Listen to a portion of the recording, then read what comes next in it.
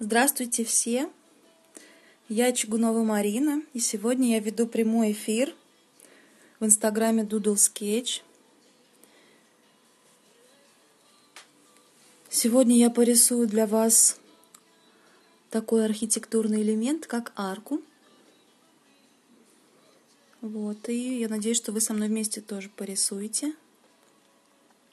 А пока к нам народ присоединяется – я вам покажу просто несколько своих работ на тему архитектуры и каких-то зарисовок архитектурных. Да, я рисовать буду вот так горизонтально. Так что можно сразу разворачивать. Так, надо все развернуть. Вот. Присоединяйтесь к прямому эфиру, будем рисовать сейчас. А пока я показываю работы свои.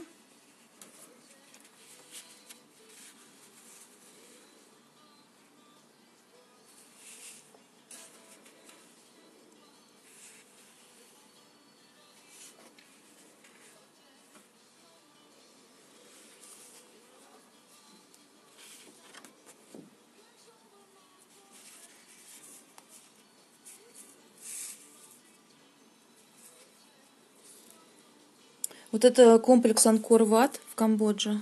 Мне очень нравится рисовать древние руины, поэтому у меня очень много работ на эту тему.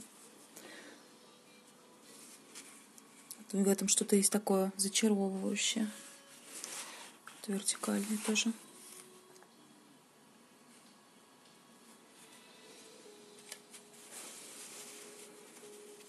Эту работу я нарисовала на пленэре в Суздале.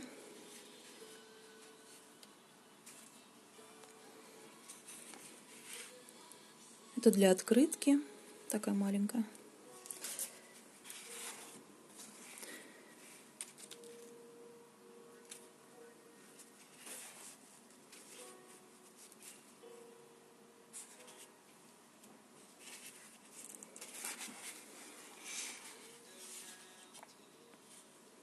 Всем привет! Давайте рисовать. Это тоже работа нарисована на пленере. Надеюсь, сегодня у нас будет интересная тоже зарисовка, и у всех все получится.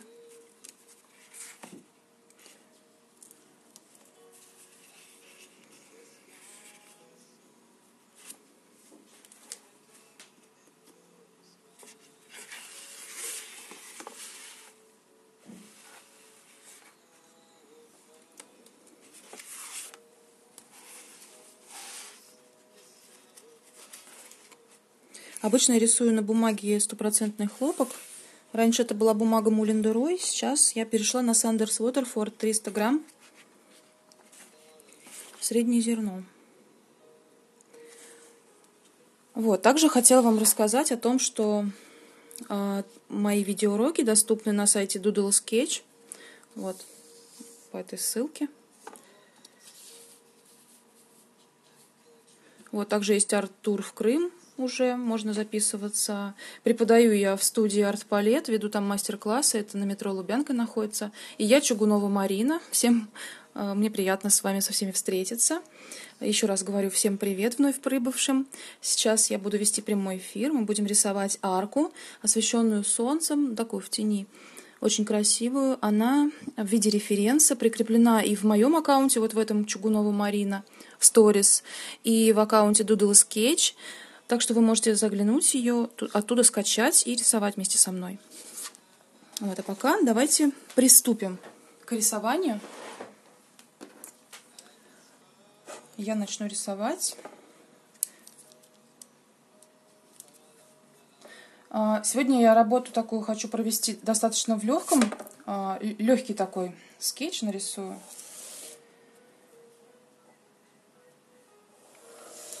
Надеюсь, что вам будет не очень сложно.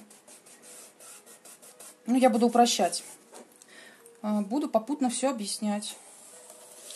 Сейчас вот я, например, выяснила, что а, вершинка арки не совсем посередине листа, а чуть правее. Таким образом, я и стараюсь ее сделать чуть правее. Напишите, пожалуйста, в фокусе ли находится сейчас моя работа и видно ли вам карандашный рисунок.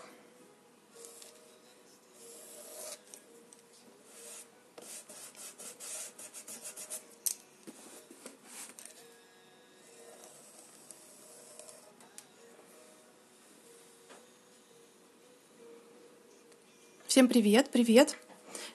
Меня зовут Марина Чугунова, еще раз повторяю. Я веду прямой эфир, мы рисуем арку сегодня, она прикреплена в сторис, вы можете посмотреть на нее и порисовать вместе со мной. Хорошо, спасибо, да, все вижу, все в фокусе. Ну, тогда продолжим. Смотрите, арка, у нее как бы есть вот такая фронтальная сторона, а есть такая глубина.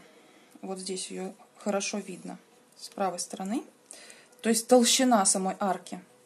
Также ее хорошо видно вверху. И вот мы, видите, наметили верхнюю, верхнюю толщину и боковую. И теперь мы эти линии соединяем. Как можно более ровно. Ничего страшного, если немножко кривовато у вас получается. Это не страшно. Всегда можно исправить. Так. А, с левой стороны, вот видите, вот здесь уходит верхняя часть, вот та, которая толщина арки, она как бы уходит за вот эту боковую сторону. И боковая сторона гораздо ниже. То есть у нас арка находится под наклоном. Вот. И ворота, красивые, резные, они находятся где-то в глубине арки. Вот здесь. Вот где-то здесь на вот такой вот высоте. Да, кстати, у них там перспектива. То есть, если низ арки вот под таким наклоном, то верх в перспективе.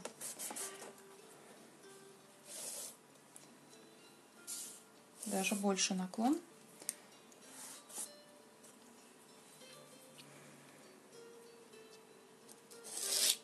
Вот центр.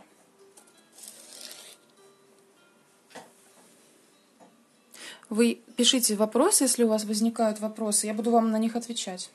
А пока я просто буду комментировать то, что я делаю. Вот. Не знаю, мне кажется, что это достаточно все просто. Не знаю, как вам. Мне кажется, что достаточно просто.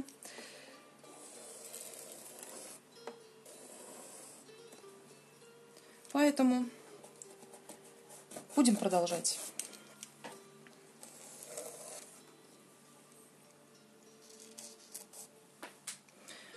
Вот, здесь очень красивые есть своды такие над аркой, как бы такая рамочка обрамления.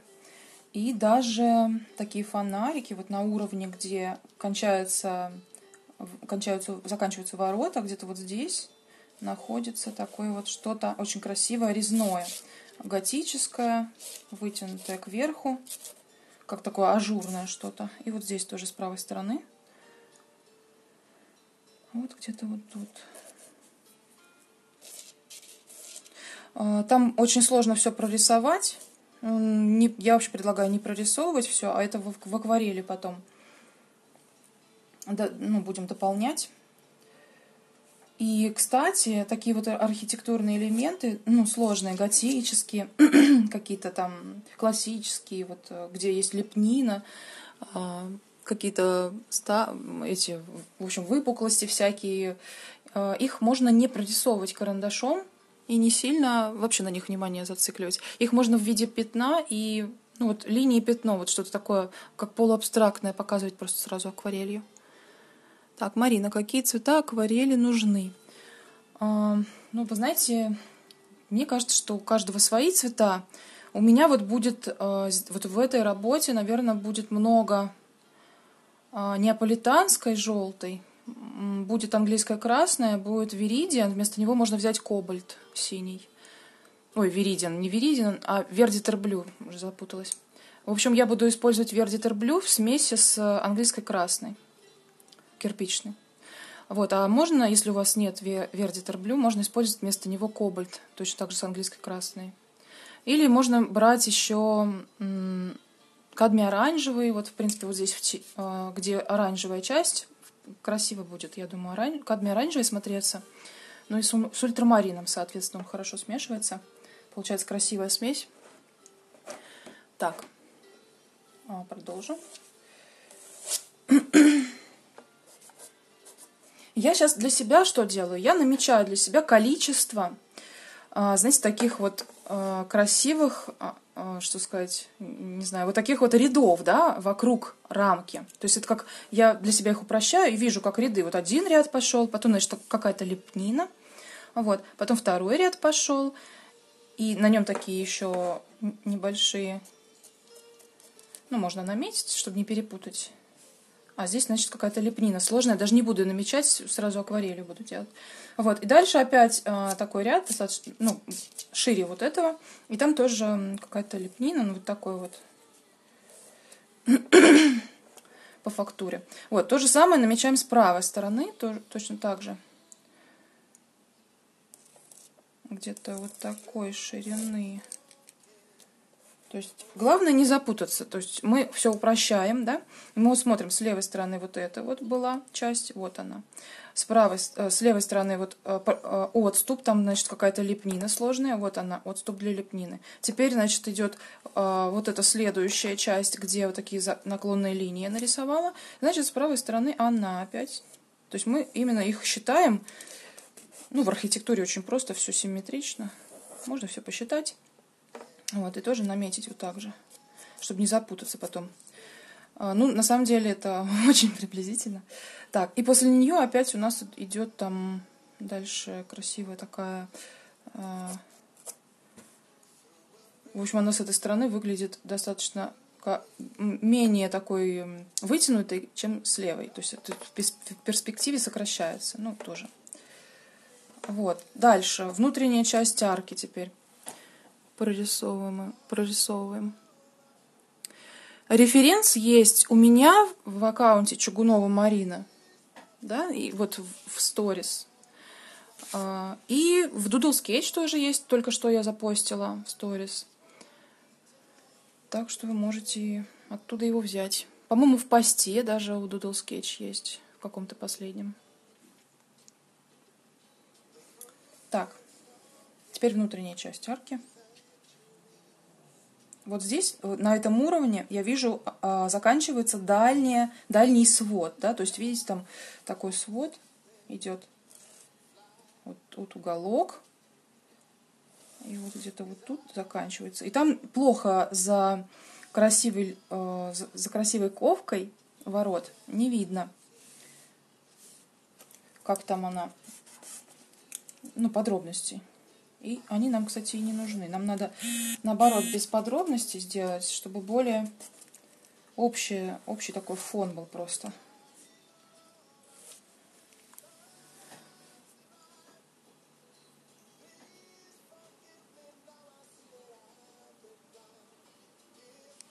Да, вот про референс написали, все правильно. Так. И вот он, значит, э, вот эта часть это я сейчас прорисовываю дальний свод арки. Надо определить, кстати, левую сторону его. Он, по-моему, левее гораздо, чем я сейчас нарисовал. Да, вот где-то он здесь находится. Не посередине ворот. Значит, все это стираем, все двигаем.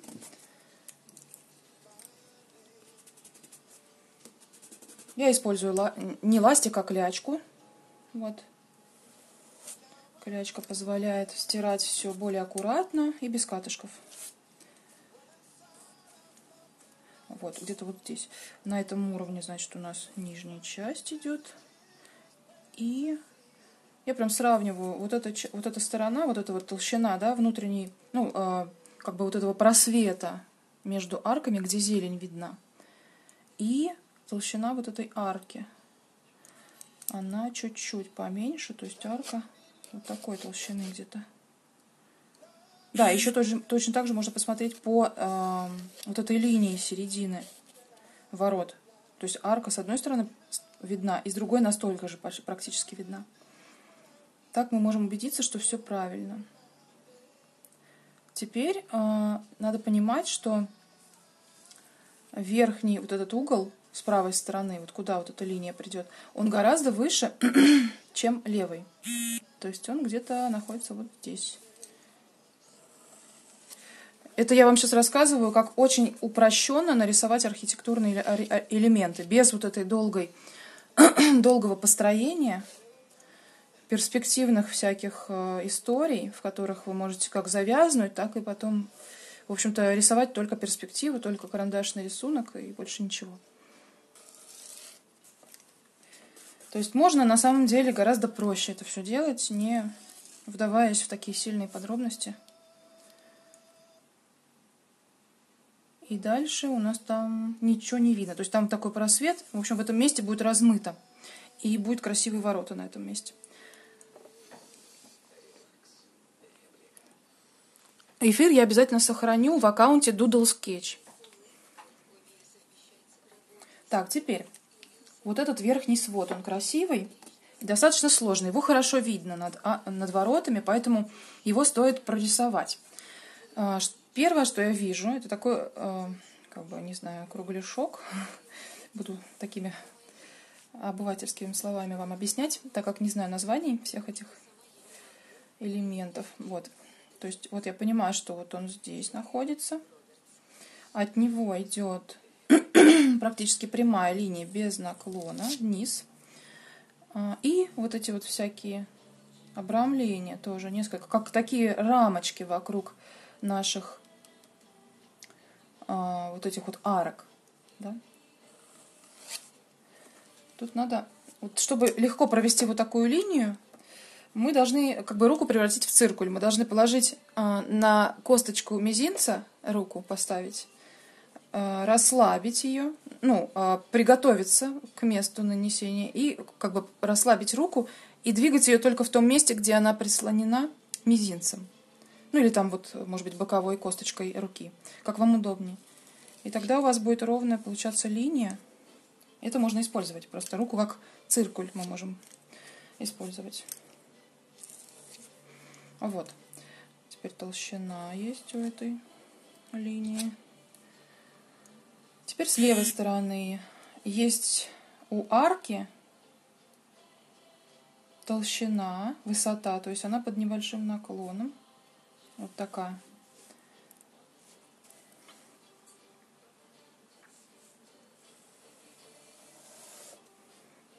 И здесь внутри тоже надо разделить, конечно, ее на несколько.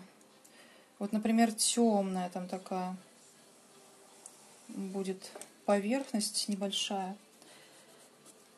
То есть я сейчас выделяю для себя темное. На самом деле это потом в акварели все делается. И так даже проще, наверное. Ну, сильно не буду, конечно, да. А то, если много линий сейчас я нарисую, получится вообще каша. То есть вот это вот плинтус идет такой, можно сказать, поверхностный. Тут тоже сейчас сделаю такое.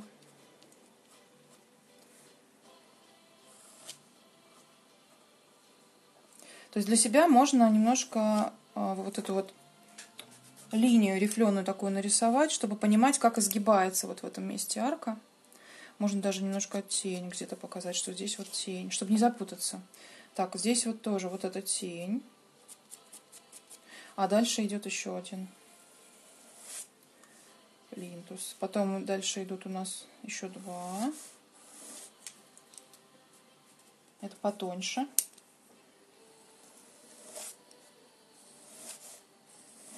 Вот что делать, когда мы пришли к, такому, к такой красивой арке, да, сели рисовать, и у нас есть 40 минут. Ну, конечно, мы не будем э, начинать с перспективы и не будем там прорисовывать, сидеть все это досконально, потому что мы просто загнемся на моменте, когда нам надо будет все это прорисовать, мы просто почувствуем себя совершенно некомфортно. Вот. Чтобы такого не было, упрощаем себе задачу.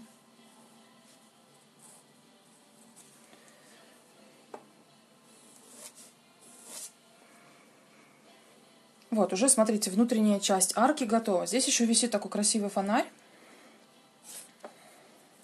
Он начинается там, где у нас вот эта тень. Тоже а, сильно его не будем прорисовывать. Вот таким вот образом. И он висит прям, на самом деле, он потоньше, кстати, потоньше, вот так. И как-то вот так заканчивается. Не такой большой, как я сначала хотела его нарисовать. По поменьше немного. Вот. Ну и потом в акварели это все более, больше можно оформить красиво. Да, интересно то, что э, вот эти ворота, да, вот они на переднем плане, сами красивые такие ворота.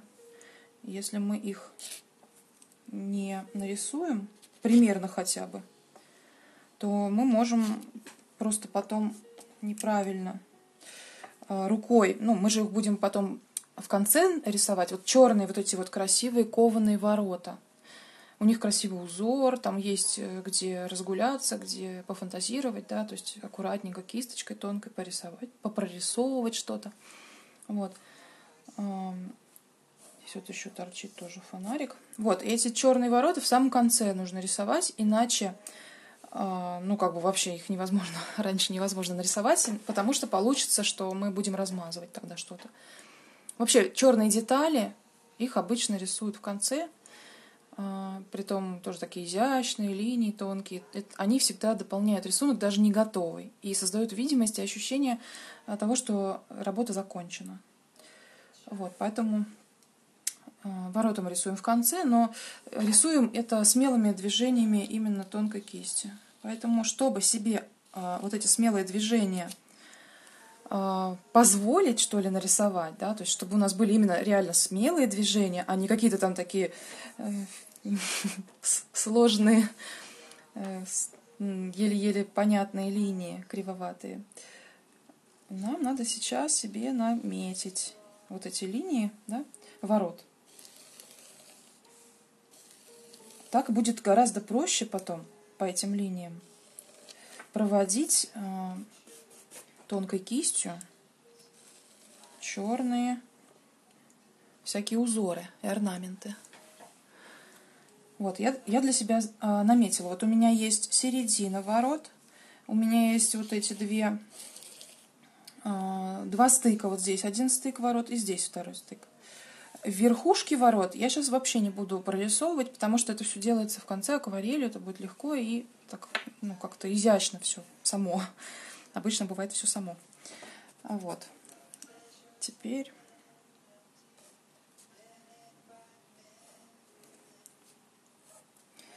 Так, ну все, мне кажется, что моя работа закончена. А, да, еще тут фонарик только вот здесь надо показать. Вот один, значит, здесь. Тоже, видите, фонарик, он вообще не, не прорисован.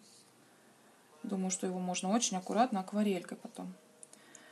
Здесь интересно то, что я не прорисовала совсем. Вот сейчас я смотрю. Вот эта часть. Надо, во-первых, вот это поаккуратнее. Вот так вот. Сдвинуть слегка.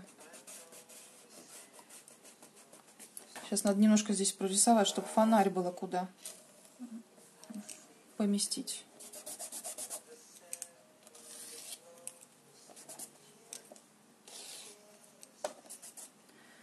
Вот чтобы линии прямые рисовать с первого раза, ровные, нужно просто тренироваться.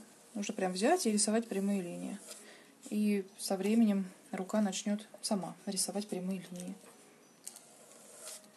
В этом никакого нет секрета. Так, значит, вот у нас получается вот эта ширина. Здесь у нас красивый такой узор будет идти, тонкий по всей длине. Дырочками с такими темными, красивыми. Там какой-то узор. Так, вот он идет вот сюда. То есть нам надо просто разобрать все. Фонарь немножко правее получается. Фонарь вот здесь.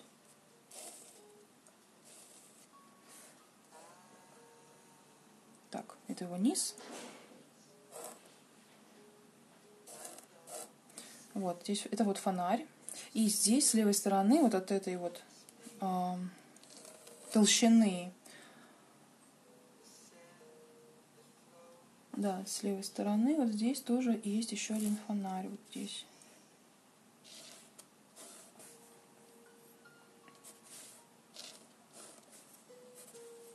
Вот, примерно так я намечаю. Здесь тоже он есть. Вот они два. Притом у этого фонаря здесь еще тень такая. Прорисовывать я его не хочу вообще никак, потому что если я сейчас буду его вырисовывать, это, во-первых, время много займет, во-вторых, он все равно получится не совсем таким, как я его нарисую, когда я рисовать буду акварелью. Получается, что это бесполезная работа и трата сил. Да, мне кажется, что все-таки вот этот фонарь по побольше. Сейчас я его немножко увеличу. Вот так. Ну вот, все, мне кажется, что с построением закончено. Такая вот карандашная работа. Привет! Вот, давайте тогда начнем акварелью рисовать. Вот моя акварель. У меня акварель а, разных абсолютно фирм.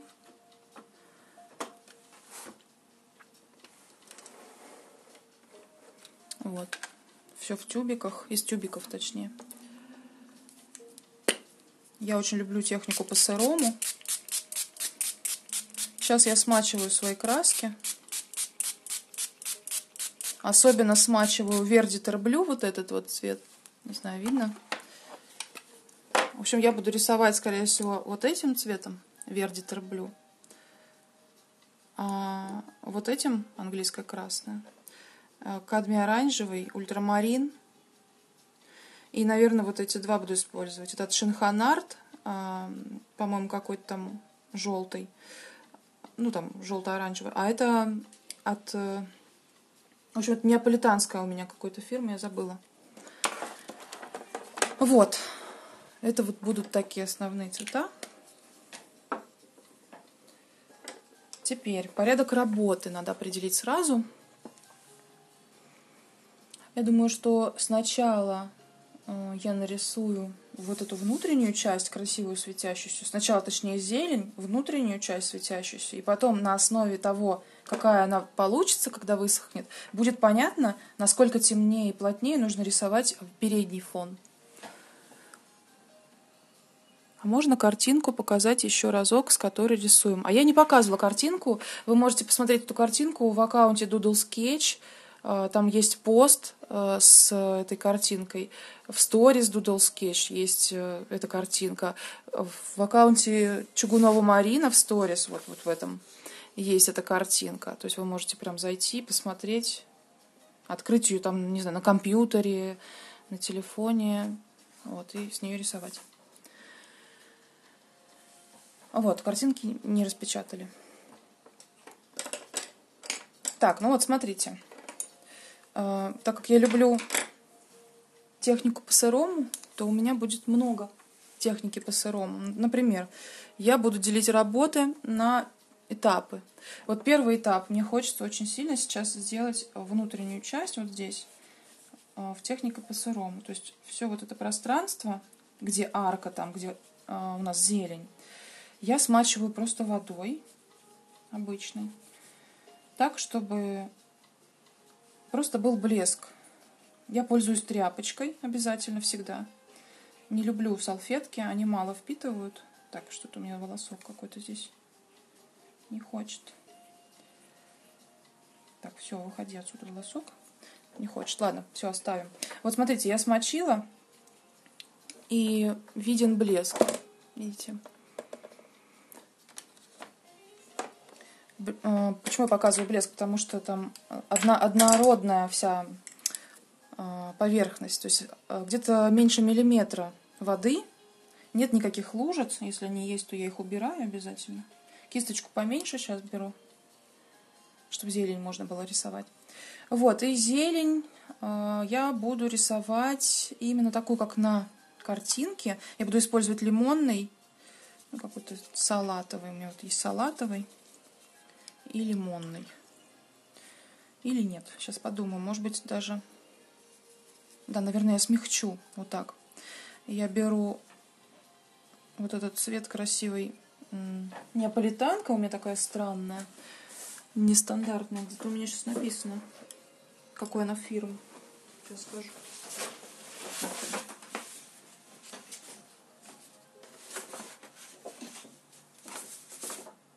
Вот. Это у меня неаполитанская желтая от Mission Gold. Видите, она такая светлая. Вот. И э, И зелененький, который я беру, это цвет вот этот перманент Yellow Green от Ван Гога.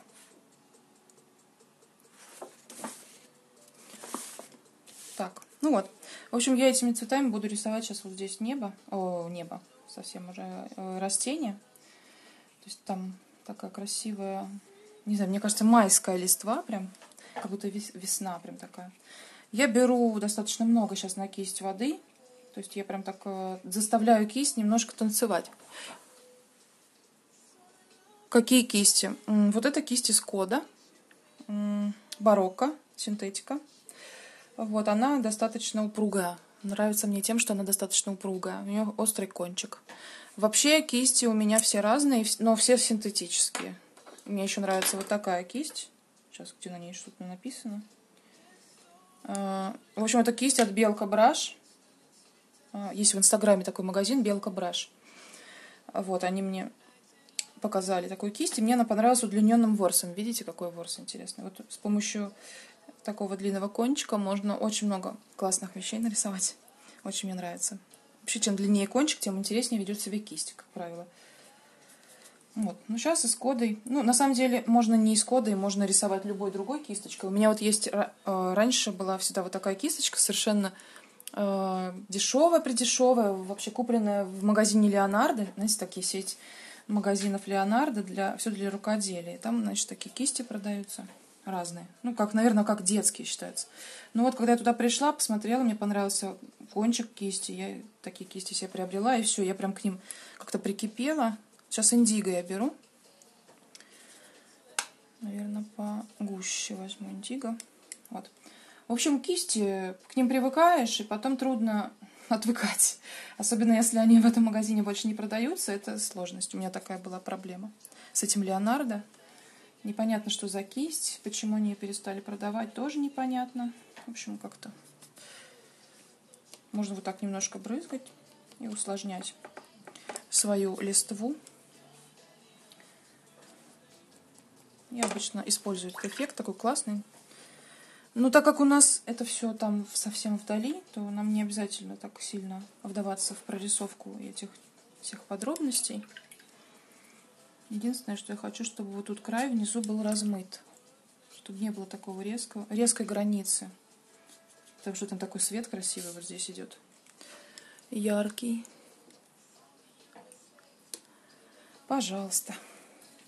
Надеюсь, вы тоже порисуете вместе со мной. Так, теперь что дальше? Вот, теперь я хочу вас обратить ваше внимание на то, что у нас интересный свет, огонечек в фонарике. Видите, у нас там такой красивенький, желтенький, светящийся. Вот я прям сейчас сразу его туда и помещаю. Притом он там тоже не совсем обычный. Ну, вообще, как обычно, огонек самый светлый посерединке, а вокруг у него, да, такое как обрамление. Вот я возьму и таким каким-то розовым дополню. Немножко размоем получился такой огонек. Единственное, что сюда попала брыз. А, вот все. Вот, видите, он такой светящийся получился. Сейчас высохнет, и потом сверху фонариком нарисуем. Так, теперь что мы сделаем? Сейчас не могу прорисовать а, вот эту внутреннюю часть, как хотела, потому что зелень не высохла. Поэтому, пока у нас время есть, вот что я предлагаю. Закрашиваем водой. Э, как закрашиваем водой? закрашиваем водой. Все дружно вот этот пол. Мы рисуем сейчас пол. Вот. Пол, значит, пол. Прям весь, до, до самого низа.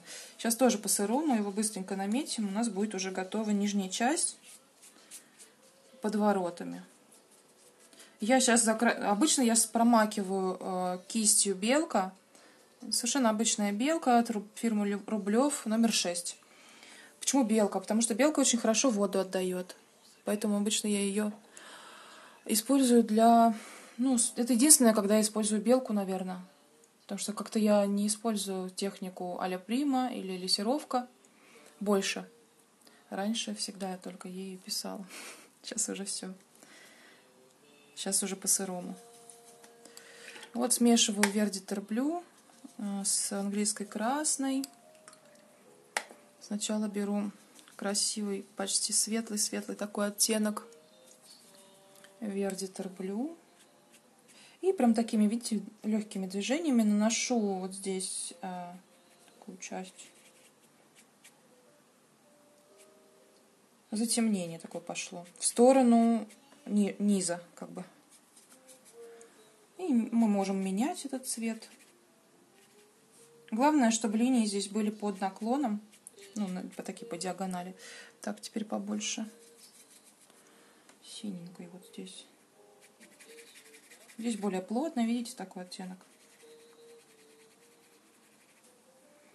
И по сырому все очень красиво расходится обычно. Красивые разводы получаются. Вот, а здесь у нас достаточно светлый будет такой оттенок.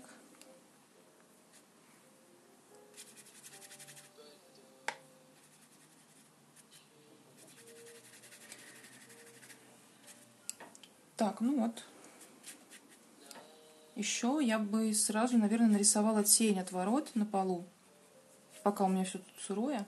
Это сразу хорошо ляжет. Возьму индиго тоже.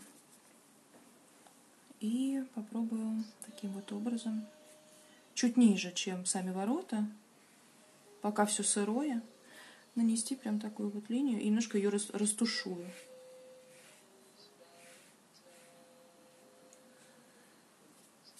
В некоторых местах она будет немножко более теплая. Я стараюсь обычно делать немножко разные все оттенки, чтобы было более, ну, больше эффекта живописности. Даже вот тень, когда рисую, всегда у меня тень немного разных цветов.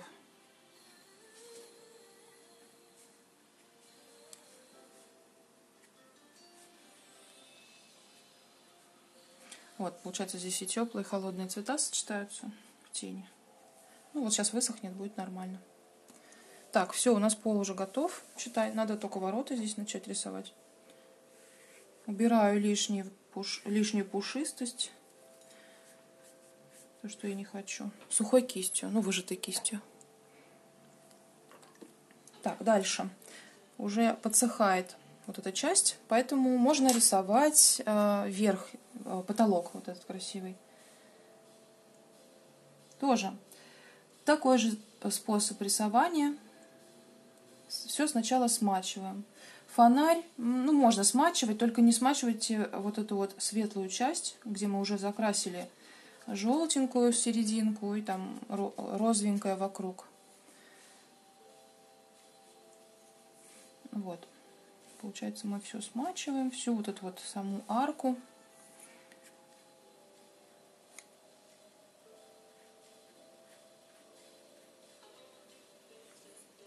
Ну, тут немножко побольше с правой стороны, там за воротами не совсем видно, как она там заканчивается. Ну и ладно. Нам не обязательно в этом разбираться, мы можем все упростить. Так, теперь берем какой-то оттенок. Какой же мы берем оттенок? В принципе, тут можно даже охру использовать. Я вот сейчас думаю. Охру можно использовать. Вот она охра. Можно добавить туда немножко розового, более теплого. Такой светящийся, видите, получился оттенок. А, розовый я беру этот коралловый хинокридон от Дэниел Смит. Вот такой красивый цвет. Он мне очень нравится, я его часто использую. Вот. вот такой оттенок сейчас возьму, и будет у нас такая красота наверху. Ярко светящаяся. У нас ведь вся фишка этой работы, если вы не поняли, а, заключается вот в этом цвете. В этом свете, да, который прям отражает и атмосферу, и температуру воздуха в том месте, где эта арка находится. То есть вообще все. Так, с левой стороны, вот тут у нас белая такая часть. Вот тут арки белая часть. Вот. Я ее не буду закрашивать. Да, немножко сделаю более темный э, оттенок. Вот такой. Тоже его буду использовать сейчас. Вообще тут много всего уже намешала, если честно.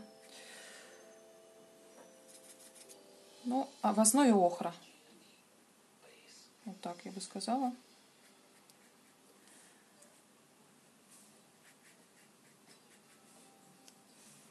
Вообще такие архитектурные почему-то всех пугают. Вот меня много задавали вопросы, несколько человек спрашивало, пока голосование шло, что будем рисовать, море или архитектуру. Вот я арку решила, нашла, прям влюбилась в эту арку.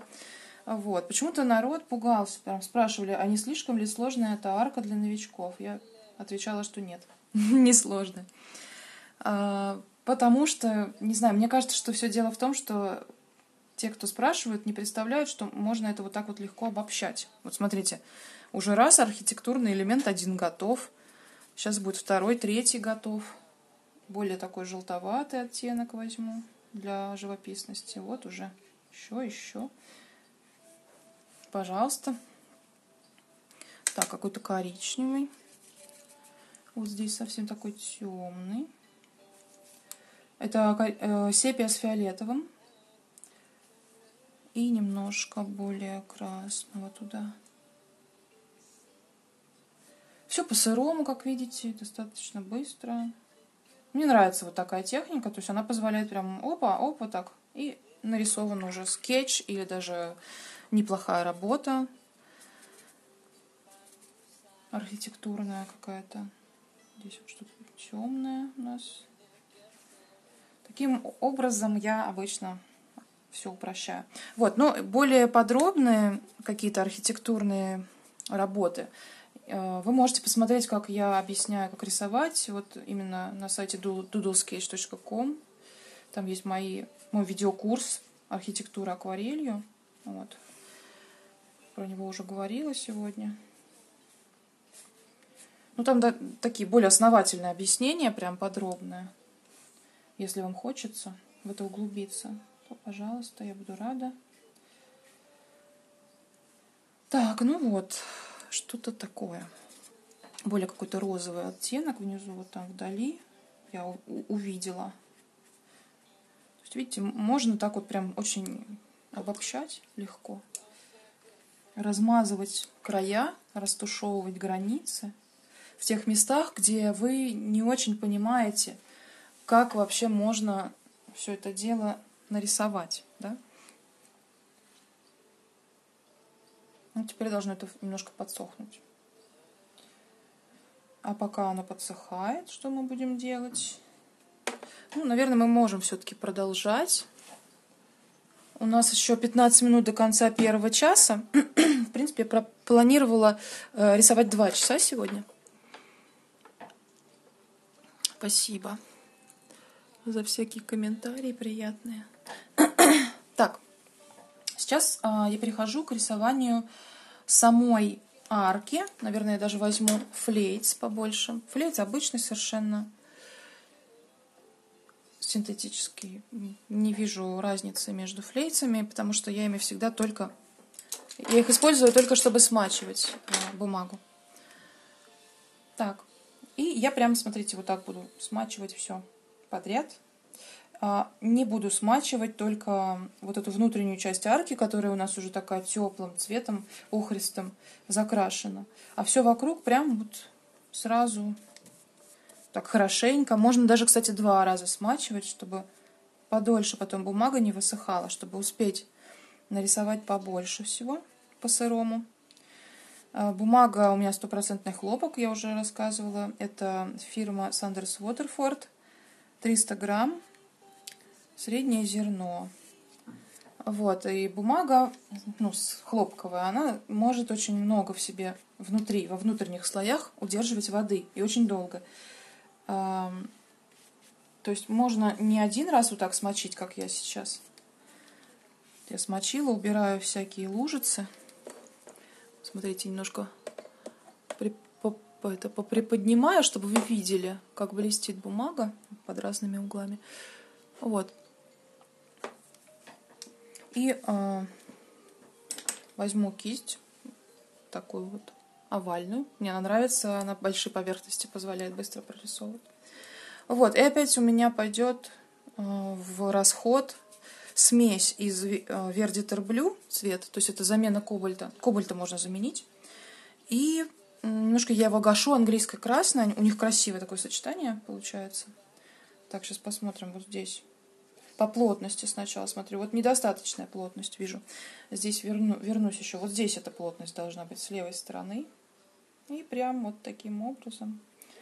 Пока у нас э, все по-сырому, мы можем быстрым образом вот таким закрасить большой объем работы. Вот в этом, наверное, секрет рисования архитектурных элементов сложных.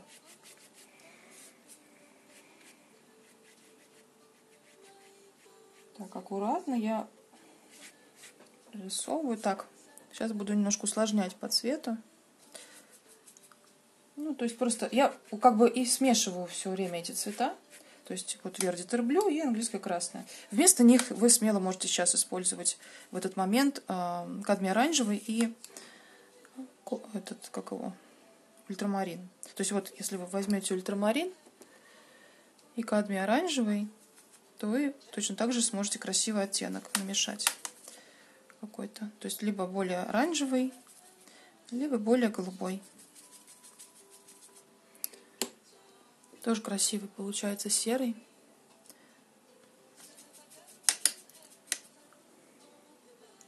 Так, здесь у нас более, больше такой оранжевый прямо внутри. И более плотный. То есть смотрите еще за плотностью. Обычно плотность цвета тоже очень много дает.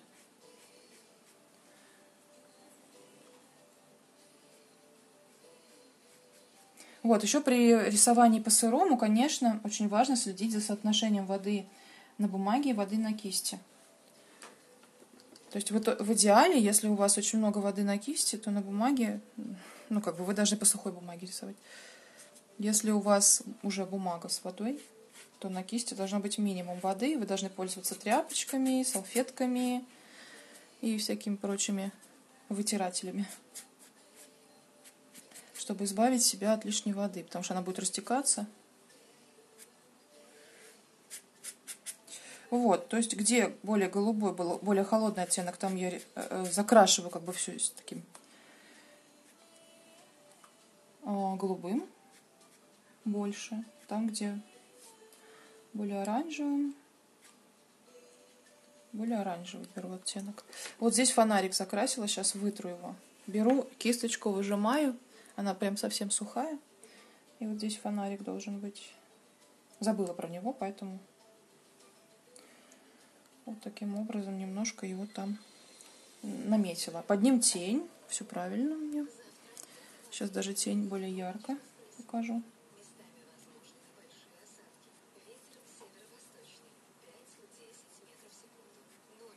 Вот. Над фонариком тоже тень достаточно интенсивная и тоже теплая.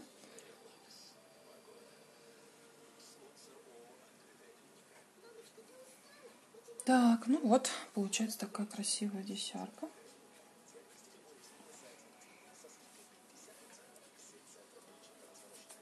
Еще я бы хотела вот здесь немножко наметить, усложнить, как бы такие вот добавить уже разделения между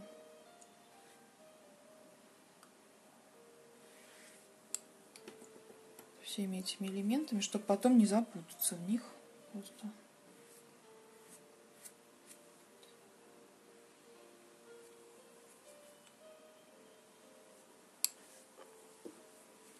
Ну вот. Вот здесь рефлекс. Набираем. Он будет светиться красиво. Так, где еще надо что-то добавить? Рыженькая. Это вот с этой стороны. Так, на каком месте? А вот тут где-то. Такой достаточно светлый там оттенок. Прям я возьму в чистом виде английскую красную. Вот здесь прям положу пятнышко. Получится, видите, такое красивое пятно. Пока по сырому все получается красиво, гармонично, ничего не дает грязи. Но на самом деле по сырому очень часто такая ситуация. То есть вообще можно все что угодно смешивать, и не будет грязи. Так, а здесь уже подсыхает внизу. Поэтому все, не трогаем. Даем высохнуть. Пока все сохнет, можно пока попробовать прорисовывать что-то внутри. Вот я сейчас попробую попрорисовывать фонарь, во-первых, нарисую красивый. Возьму тонкую кисть каллиграфическую. Есть у меня такая кисть каллиграфическая. Я ее приобрела в магазине тоже Белка Браш Шоп. Вот, у нее замечательный кончик, очень острый. Просто это можно использовать как лайнер. Вот, поэтому она мне очень нравится этим. И э, сейчас я буду рисовать фонарь, так как он достаточно темный. Вот если на фотографии вы видите, он очень ну, там, плотный, прям такой темный цвет. Я опять смешиваю английскую красную с, прямо с, с серой пейной. Ну, можно сказать, что с черной. То есть у меня нет черного в палитре, есть вместо него серая пейна. Вот, и прям вот таким вот образом, аккуратненько, видите, провожу линию. А, весь секрет вот сейчас в красоте вот этого момента в, в тонких линиях. То есть если вы возьмете недостаточно тонкую кисть, то изящество не получится. Бумагу с обратной стороны я не смачиваю обычно. Мне лень так сильно заморачиваться. Хотя я как бы ходила на мастер-классы к разным живописцам и видела, как это все делается, понимаю для чего, но мне почему-то у меня как-то руки не доходят, я обхожусь без этого. Вот. Сейчас просто усложнять. Смотрите, э, можно подходить к этому так. Мы можем понимать, что мы все равно не будем э, до конца э, разбирать, какая там значит, кованая деталька в этом фонарике куда идет, да, то есть нам вообще нет смысла это делать, нам просто нужно показать, что он сложный, что он интересный, что он состоит вот из таких тоненьких реечек. Вот, поэтому мы приблизительно так э, что-то намечаем и немножко усложняем это всякими точечками, Э, вот всегда очень красиво смотрится в работах сочетание вот это вот, когда сочетается пятно и линия. Линия с пятном вообще дает шикарное просто сочетание. Это, знаете, такое более графическое, что-то более, как ближе к дизайну. Вот, поэтому все, фонарь готов. Видите, такой он получился интересный. А теперь я возьму не очень яркий оттенок какой-то ну, рыжего. Вот опять же на, на основе английской красной, что-то здесь на палитре, то, что нашла. А, и уже буду прорисовывать именно детализацию, покажу слегка детализацию внутренних частей архитектурных вот этих вот. А, немножко больше подробностей дам. Вот тут, где тень, можно прям даже закрасить больше. Осторожно, чтобы не слилось все с фонарем. Вот за счет этой красивой тонкой э, кисточки я могу себе такое позволить. Не любой кистью у меня это получится, то есть сделать на самом деле. Вот эти лайнеры, они, конечно, крутые таким моментом. Мне даже вдохновение надо приходит, когда я понимаю, что у меня же есть лайнер с собой. Я сейчас такое что-нибудь нарисую этим лайнером. Вот. Лайнер, крутая кисть. Можно что-то стереть, как вы видите, и заново нарисовать. То есть э, пока не высохло, мы можем перемещать, как мы хотим. Наши пятна. Вот, ну и так вот здесь у нас темная часть.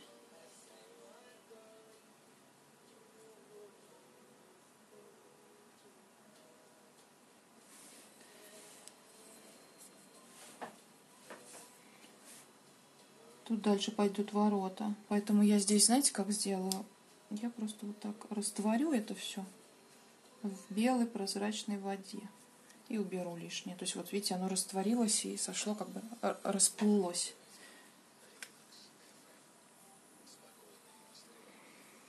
Так, что еще? Вот это нужно убрать. Вот у меня тут произошла неприятность. Сейчас я попытаюсь ее убрать. А, цвет из вот этих линий, которыми я сейчас рисовала, он немножко перешел на вот эту арку и расплылся. Ну, сейчас я немножко сюда добавлю еще синенького. И все это превратится в более синенький. Синенькое пятнышко такое. Ну, ничего страшного. На архитектуре это не повредит. Так, еще я хочу здесь немножко кирпички показать. Вот во внутренней именно части. И сейчас вот я кирпички нарисую, наверное, и отключусь и заново войду. Потому что сейчас уже час подходит к концу. Мне надо сохранить эфир. Вот. И тут я покажу сейчас кирпичики. Вот они вот так будут идти.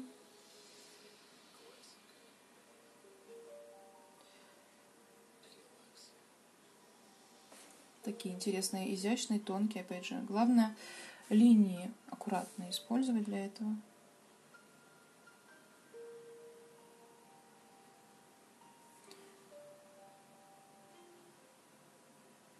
Э, такой способ э, улучшения, что ли, своего рисунка. Вот не получилось, если линия, то можно схитрить и закрасить просто в этом месте. Не обязательно же э, прям точь-в-точь все рисовать. Так, здесь у нас вот по таким тоже наклоном. Все под таким наклоном. А, вот, смотрите, когда вы рисуете вот эти кирпичики, да, какие-то а, элементы, очень важно не начать а, рисовать это все в симметричном таком порядке, знаете, как вот забор. Важно именно оставлять неровности – тогда это все будет красиво смотреться. Например, толщину между ними не соблюдать специально, намеренно. И тогда это все смотрится интересно. Потому что нам, зрителям, когда мы смотрим, нам хочется более что-то неоднородное такое, более живое, что ли, более естественное всегда. Вот, поэтому нужно уважать зрителя за это его желание и давать ему возможность для воображения. Так, и тут тоже. Вот, ну пока вот на, на таком моменте, наверное, я сейчас завершу свой прямой эфир и сохраню его. И выйду опять еще раз в прямой эфир. Так что я вас всех жду, заходите продолжать рисовать.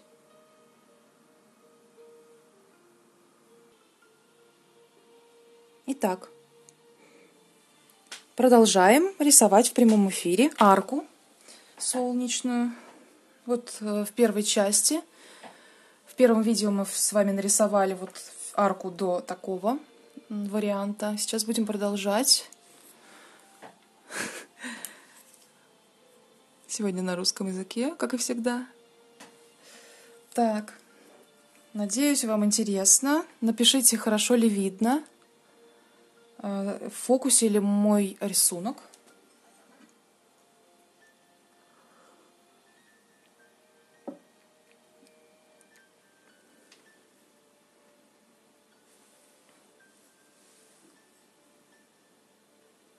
Уже подсыхает работа.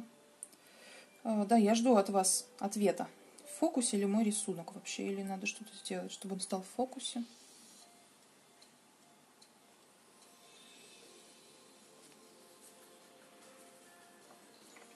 сейчас хорошо. Понятно. Хорошо. Так, здравствуйте. Кисточка. Вот не знаю, как называется. Каллиграфическая кисточка. Э, в Инстаграме есть магазин Belka Brush Shop. Вот. Могу про нее потом написать у себя в аккаунте Чугунова Марина про эту кисточку. Очень мне, кстати, очень она понравилась. То есть у меня было много кисточек каллиграфических, но опыт Фокуса нет. Вижу, фокуса нет. Так, давайте тогда, если фокуса нет, мы сделаем такую, а, такую интересную вещь. Вот я приближу свою работу. Сейчас телефон отреагирует. И потом обратно верну фокус. Ну, точнее, положу. И сейчас должен телефон сфокусироваться. Напишите, пожалуйста, как фокус сейчас. А я пока расскажу про кисточку. Так вот, у меня были разные каллиграфические кисти. Вот. И в основном это почему-то так получалось, что просто какие-то гигантские кисти, потом я их тоже заказывала там везде, где только можно. Вроде у них тоже хорошие кончики. Но вот они мне такого размера как-то не пригождались. А вот это прям суперская. Напишу, хорошо, я напишу про эту кисть. И дам, ну, и напишу точно, э, где какой магазин, в общем, где можно посмотреть. В общем, она мне нравится тем, что у нее прям, прям кончик как волосок. Вот он просто настолько тонкий, настолько это круче, чем любой лайнер, который у меня когда-либо был, что я прям сама в восторге от этой кисти. Недавно только я ее приобрела и вот удивилась. Я, честно говоря, не сильно хотела, но иногда экспериментирую с кистями. Так, скажите мне, я пока не вижу, а, в фокусе ли моя работа сейчас или нет?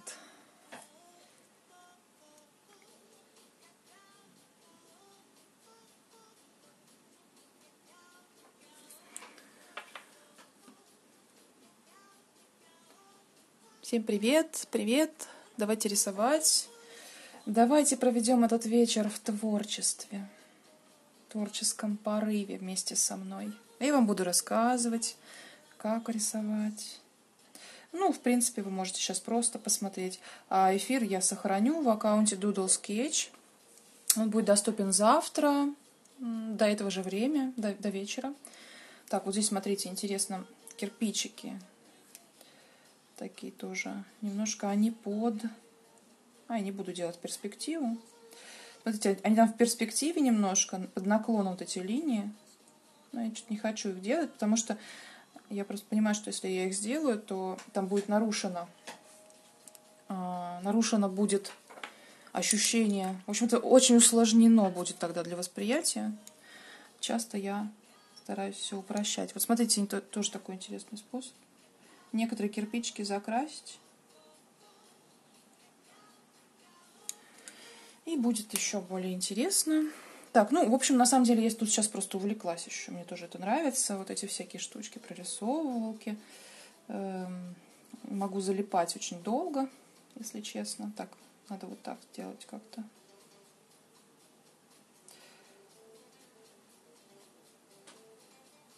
Это все на, вообще на обум я делаю, как попало. Никакой системы нет. Ну, стараюсь примерно. Э, соблюдать хотя бы рельеф. А вот, ну вот, видите, уже такое вырисовалось что-то. Так, посмотрю пока комментарии. Все присоединились, присоединились. А где же ответ на вопрос, все ли в фокусе? Вы хорошо видите? Ну, вы видите, все хорошо?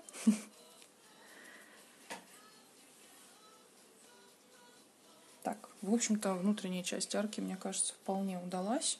Я вообще довольна, если честно. Так, еще я немножко, знаете, что сделаю сразу? Вот внизу такие есть немножко пол намечу. Тоже, опять же, этой кистью все, видите, так, достаточно легко.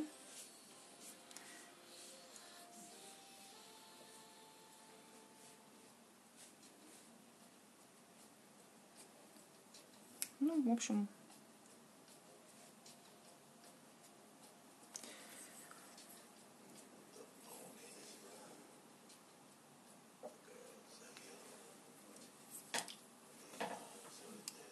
Видно отлично. Замечательно, как хорошо.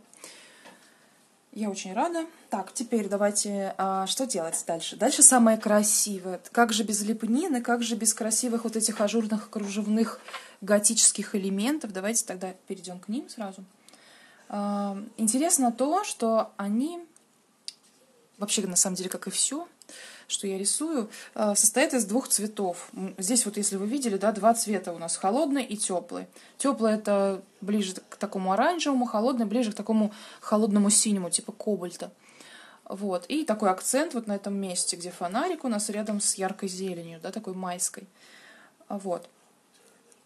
Все, кроме вот этого места, у нас построено на сочетании двух цветов, холодного и теплого, то есть синего, да, и оранжевого. Такие противоположные цвета.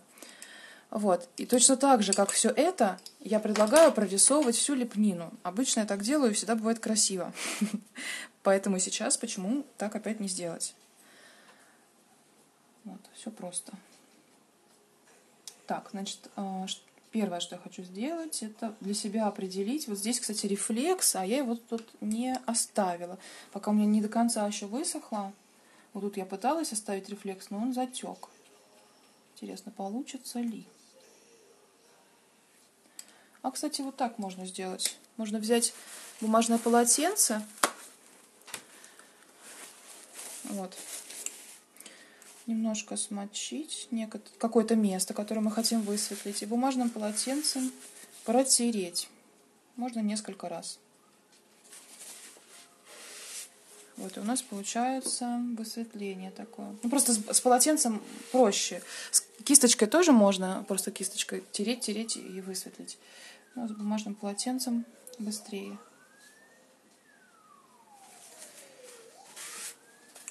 Вот получается вот здесь такое высветление в виде рефлекса.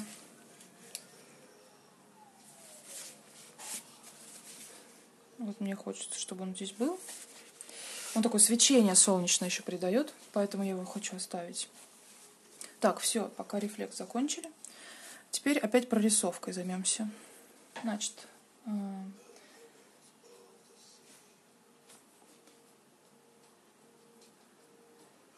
тут как бы такие... Просто как украшения. Уже занимаюсь просто украшением, и это на самом деле как завершающие этапы всей работы.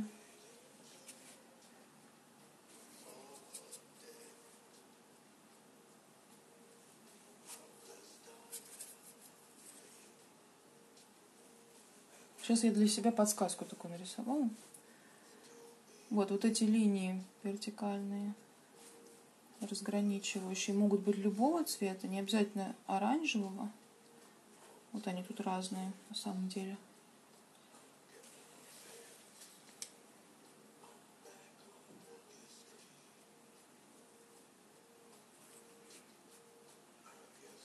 Вот, и сейчас я буду лепнину красивую рисовать. А, там все непонятно. Очень это все сложно, далеко. И поэтому я предлагаю сильно не вырисовывать, а, знаете, так сосредоточиться на таких вот пятнах, сочетании а, оранжевых каких-то пятен, да, и холодных, темных. Сейчас я беру индантреновый синий с, смешиваю с серопейной для темного. Вот, темный у меня будет серопейный с эндантреновым синим. И так, сейчас я толщину намечу. Все это я буду рисовать вот этой кисточкой. Можно взять любую тонкую кисть, конечно же, вот, которая вам нравится, к которой вы привыкли. У меня раньше была вообще выщипанная кисть. если честно. То есть я взяла просто обычную кисть, вот такую, и а, щипчиками отрезала вот тут в самом начале внешние волоски. Она стала такая тонкая, тонкая, длинная-длинная. И мне вот эта вот кисть очень нравилась. Я ей... Она упругая, и при этом очень-очень длинный кончик, как раз как вот лайнер была. Эфир я буду сохранять. Уже первая часть эфира сохранена в аккаунте Doodle Sketch, и вторая часть тоже будет там доступна в течение 24 часов завтра до этого же времени. Вот. Э, раньше у меня была обычная кисть, выщипанная мной, потому что я не, наш... не могла найти нужный лайнер себе. Вот. Не могла прям, не знаю. Меня не устраивали все лайнеры, которые я видела. Они были все достаточно мягкие, потому что мне вот э, всегда не хватает упругости вот. А вот эта кисточка сейчас э, каллиграфическая, прям, не знаю, понравилась. Поэтому я с удовольствием слезла с той кисти. Я, мне она не нравилась э, в плане, что она такая вся покоцанная, бедная, несчастная, позорная какая-то. Так что ну вот, я очень рада, что сейчас я перешла на другую, хоть какую-то. Смотрите, а, я, я сейчас а, вообще не вдаюсь в подробности, что там такое. Вот там что-то сложное. Сейчас вот немножко подсохнет первый слой, можно будет еще добавить второй. То есть я сейчас просто наношу пятна, которые между собой красивое сочетание дают, теплых и холодных оттенков. И все. То есть там какие-то на самом деле люди, по-моему, что-то они там э, наверное, не поделили, или там сражаются за добро и зло, в общем, или какие-то монстры, или, не знаю, там эти горгульи, может быть, головы чьи-то, не знаю, что это такое. А, в общем, не стоит в этом разбираться. все это слишком мрачно. вот. Мы можем просто да, ну, играть на игре, э, создавать игру такую красивую, сочетание цветов разных и полу, видите, полуабстрактно так как-то заполнять вот эту часть красивую. Точно так же с другой стороны, с противоположной тоже. Вот у нас идет, сейчас я намечу, где эта часть начинается. Так, вот здесь. Ага, вот тут она начинается, как раз вот отсюда. Как-то отсюда, за фонарь уходит. И вот такой толщины. То есть я сразу для себя определяю толщину всего этого. И вот так у меня здесь линии не получилось, я снизу и начну, чтобы здесь уже зарисовать все снизу. Вот около фонаря. Там видно все. Первая часть в аккаунте Doodle Sketch должна висеть сейчас в доступе. Ну, по крайней мере, я ее сохраняла, она вроде была. Посмотрите. Я же сейчас из аккаунта Doodle Sketch вещаю. Вот. И там будет сохранена и первая, и вторая часть. Так, тут уже что-то такое более... Прям какой-то мужчина. Вот я вижу мужчину какого-то. Так, он что-то делает рукой. А, пока оставим его в покое. Тут у него есть теплый, теплое пятно внизу. Вот здесь небольшое. Все, опять перейдем к следующему, к верхней части. Там есть другой мужчина, он вверх показывает явно. А, у него там в руках что-то, какой-то типа инструмент или волынка или что-то еще. В общем, нам нет смысла это все сильно прорисовывать. Мы можем просто заполнить пустоты темным цветом, да, пятна так организовать между собой, что что-то будет сложное, и это уже хорошо. У нас то, что нет задачи прорисовывать здесь что-то долго. Иначе мы зависнем, и мы не выполним нашу цель. А цель у нас это нарисовать всю работу. Просто арку так, дальше вот здесь опять какая-то фигура стоит. Когда с левой стороны я что-то не узнавала эти фигуры, а с правой стороны прям все видно.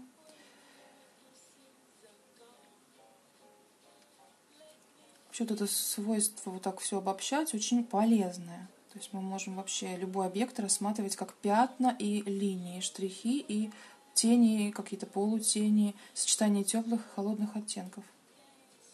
То есть, видите, какая-то фигура, над ней темнота, то есть такая полость да, под следующей фигурой. Обязательно в фигуре должна, должны присутствовать теплые какие-то пятна в каких-то местах, ну, чтобы живописность была. Вот. И дальше идет э, темнота, да, а потом следующая фигура опять на таком как бы пьедестале, видите, прям. И все, и там тоже что-то сложное, какая-то трость какая-то палочка, что-то сложное. Ну, видите, каляки я рисую просто по сути. Не нужно хорошо прорисовывать. Даже скучно будет, если будем прорисовывать. Так, вот здесь у нас что-то сложное. Так, и фонарь там начинается.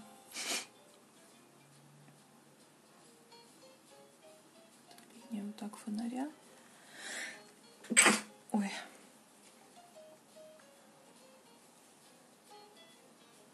Нет, у меня работа не А3, это, наверное, половина А3. Даже не А4. Это не, какой-то недоделанный А4, у меня просто из обрезков. У меня много бумаги, я в листах покупаю бумагу в листах больших. И много от выставок, от всяких обрезков, и я ее часто использую. Нестандартные листы. Вот. Поэтому это тоже нестандартный такой лист. Ну, не А4. Вот для примера А4 вот такой. Чуть-чуть поменьше. Чуть-чуть поменьше А4. Спасибо. Буду.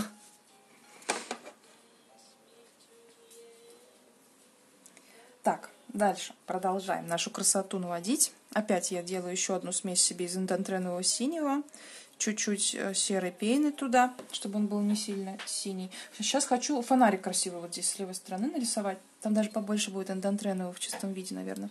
Вообще эндантреновый синий, очень мне нравится этот цвет. Он такой красивый, благородный. Вот такой, видите, такой вроде как синий. Он очень насыщенный, интенсивный. Но при этом он не слишком вызывающий, что ли, такой синий. Не слишком яркий. Так, а, определяем, значит, ширину фонаря такое он у меня будет. Здесь. То есть просто прям акварелью аккуратненько я рисую контуры. У него такой резной край внизу, кстати, и красивая тень. Вот я, пожалуй, с тени и начну, наверное. И очень красиво смотрится всегда, когда тень противоположного оттенка. Поэтому я так сделаю. У меня, у меня так как здесь уже очень много английской красной, то я прям тень сделаю тоже английской красной. Немножко сейчас размою.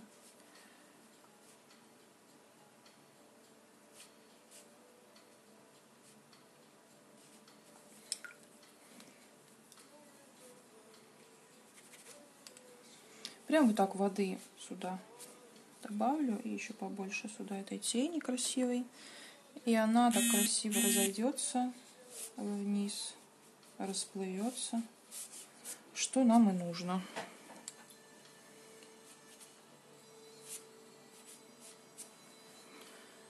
Даже можно еще побольше.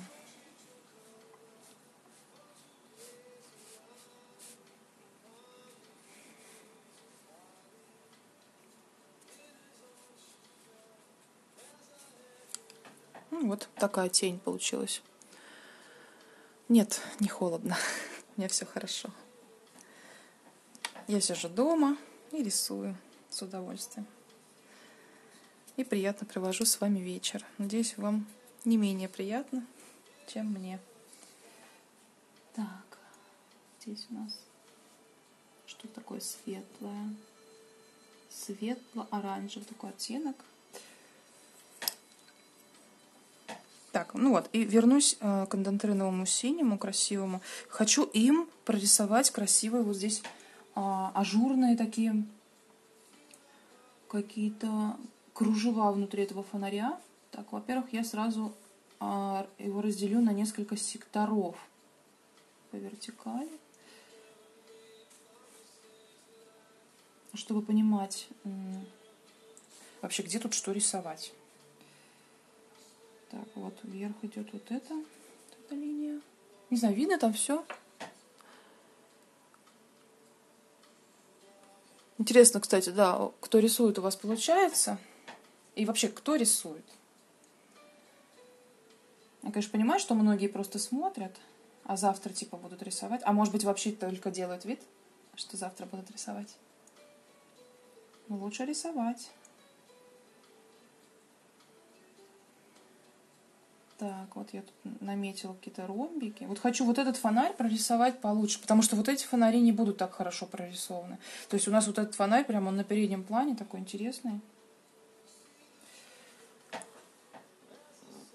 Хочется прям его более подробно.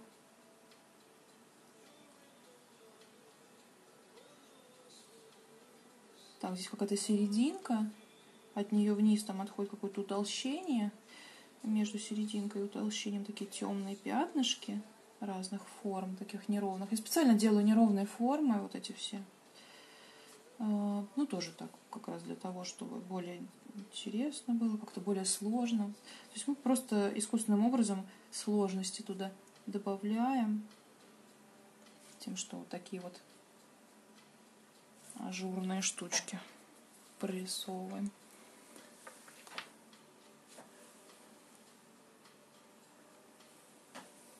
Так,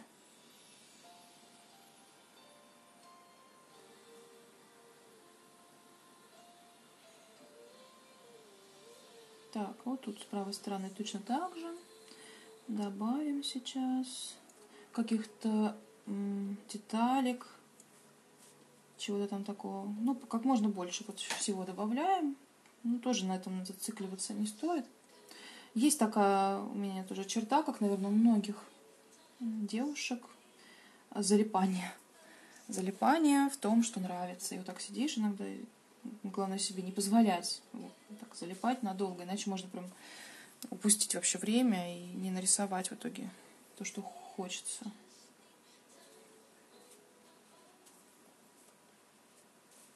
Так, сейчас опять синенький.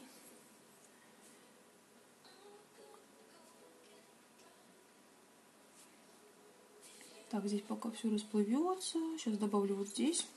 А, и вверху, наверное.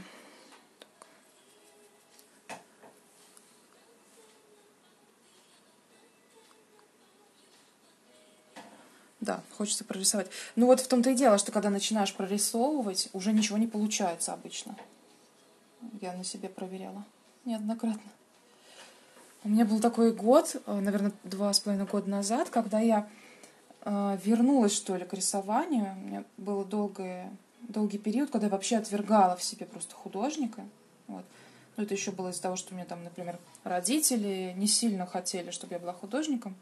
Но у меня всю жизнь это было так вот.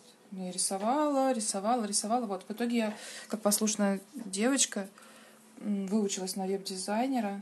И вот пыталась веб-дизайнером быть, как бы. Но все равно не сильно далеко, конечно, от рисования ушла. Ну, вот как смогла. Вот. И потом долго так работала в строительной компании, и все пришло к тому, что я вообще перестала рисовать, начала там программировать, ну, то есть веб-дизайн, он развивается, и там тоже невозможно все время рисовать. Там надо больше писать как бы уже програ... ну, программирование на HTML5. Там. Вот. И мне стало очень скучно в какой-то момент. Вот смотрите, здесь красиво перешло из синего в оранжевый. А по тону одинаково. Поэтому такой интересный эффект. Я всегда так стараюсь делать в разных местах, где только могу. А, вот. Так, здесь у нас что? Здесь у нас еще такие должны появиться темненькие, что ли, такие полосочки. Вот сейчас вот здесь. А, всякие орна... типа орна... вот такие как орнамент, да, мы добавляем, но старайтесь не добавлять это все очень одинаково, то есть прям вот чтобы это же ритм получается, ритм в композиции таким образом мы добавляем. Вот, ритм, он очень классно, очень здорово, всегда оживляет любую работу. Вот. Единственная проблема с этим ритмом в том заключается, что его можно начать так активно добавлять, и так вот на равных, ну, делать равные промежутки между этими э, повторяющимися или ритмическими элементами, что будет в итоге результат обратный. То есть это может раздражать даже. Настолько, настолько он активен, ритм вообще в композиции, что он может раздражать. Вот, чтобы этого не было, нужно не соблюдать вот эти все э, ровные идеальные линии. Нужно, наоборот, стараться их немножко нарушать. Вот. И тогда будет очень интересно все. Вот смотрите, я, как, как и говорила сейчас, стараюсь прорисовывать м, вот эти все архитектурные красивые места за счет э, сочетания двух противоположных цветов, по сути. Это вот оранжеватого, да, то есть у меня тут не э, ой, сейчас оранжеватый, это я беру английскую красную за, за оранжевый, вот, и э, си, синего темного это вот у меня индантреновый, и синий светлый я буду брать опять Вердитер Блю. Вот. И на, просто по, практически двумя цветами мы рисуем.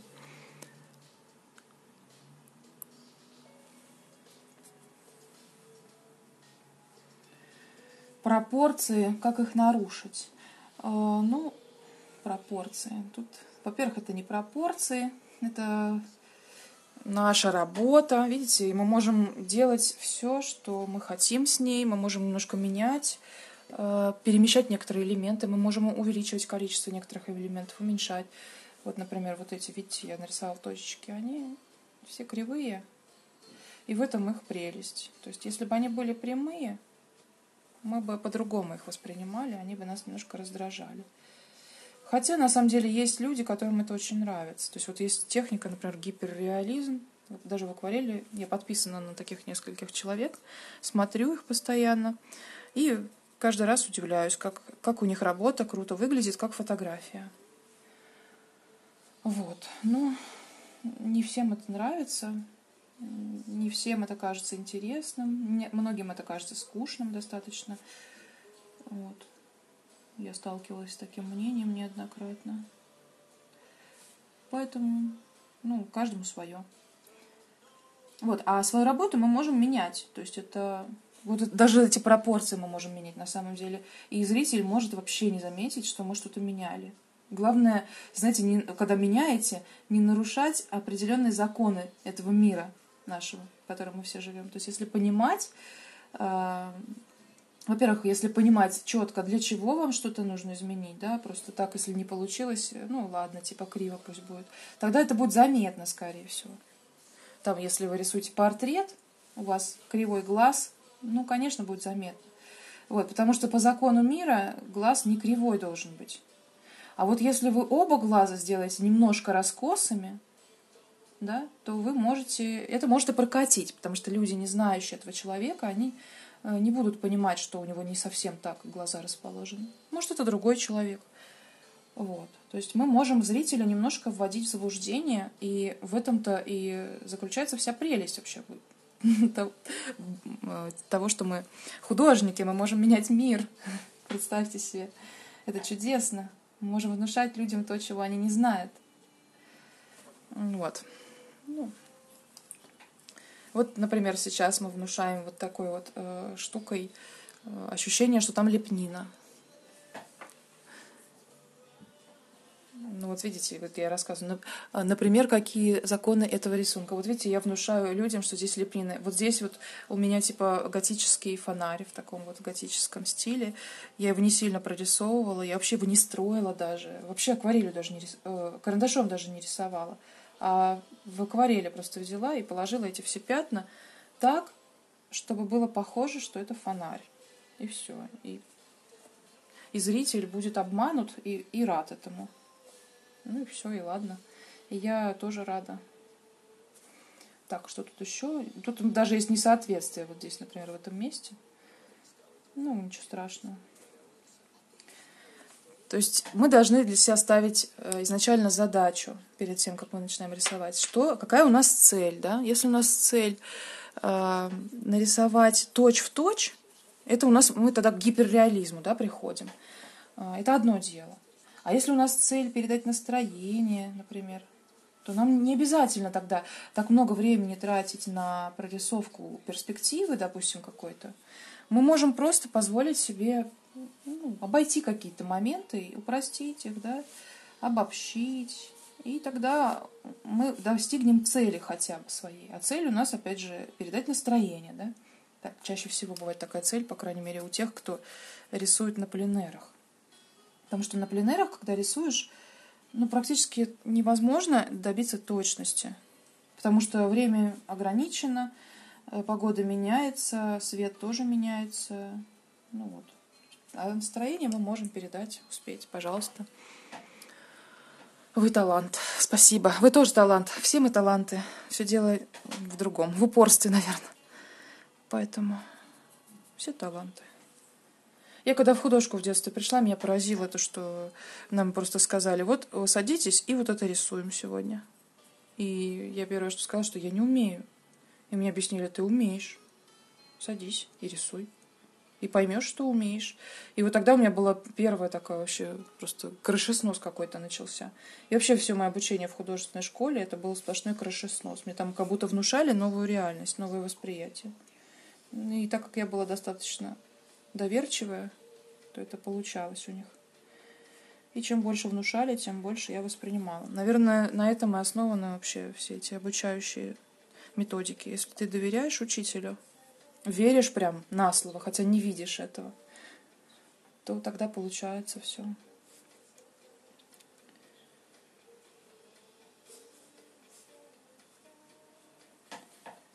Так, что-то я тут слишком коричневая, о, слишком фиолетовая начала. Сейчас немножко поменьше сделаю. Хочу выделить э, внешнюю арку за счет внутренней, э, затемнения внутренней. Так, здесь у нас фонарь. Сейчас мы фонарь немножко прорисуем. Вот так вот. Тут такие синие, видите? Переход в синий. И тоже там такое ажурное что-то в фонаре что-то там красивое. Вот что красивое, опять же, неважно, неважно. Зритель должен думать, что что-то красивое. И все. И на, не наша цель объяснять ему, что именно. Наша цель просто настроение передать ему, чтобы он поехал туда и посмотрел, наверное.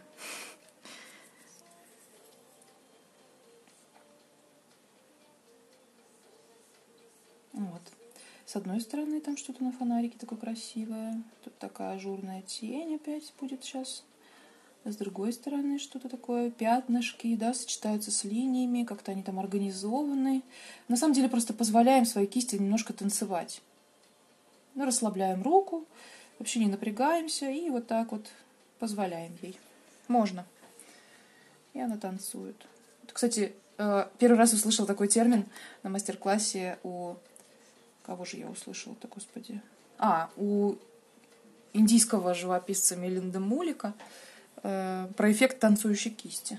Мне так понравилось, я теперь всем говорю, это эффект танцующей кисти. Когда вы просто разрешаете своей руке и своей кисти танцевать вместе. Это так чудесно, это так романтично.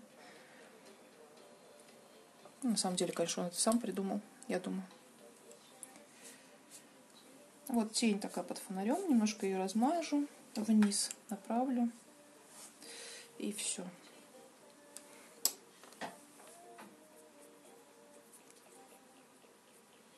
Куда поехать? Туда, где эта чудесная арка находится. Наверное. А можно и в другое любое место. Не знаю. Надо ехать туда, куда вас зовет сердце. Так, теперь э, я хочу вот здесь наметить еще такую тонкую линию. Смотрите, вот эти тонкие линии, они дают нам ощущение вообще подробности рисунка, да, то есть у нас вообще рисунок не подробный, но за счет вот этих тонких, вот как на этом фонаре, вот здесь, каких-то вот здесь линий, да, рисунок кажется подробным. Это всего лишь иллюзия, конечно же, он вообще не, подробный ни разу. Но вот за счет этой линии прямо интересно. А я вот сейчас здесь хочу добавить плотности, прям вот так вот. Хочу прям вот так добавить. Сделаю вот такой красивый рефлекс.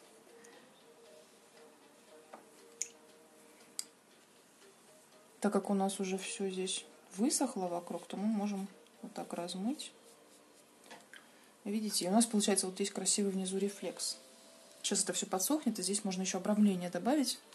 Вот подробная такая прорисовка. А пока перейдем вот на эту часть с правой стороны. А здесь тоже там добавим пару линий.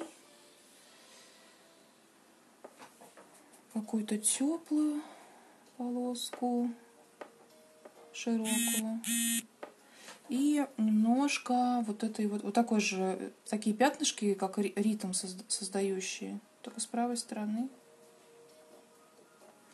Вот, и все, ничего больше не буду сюда добавлять.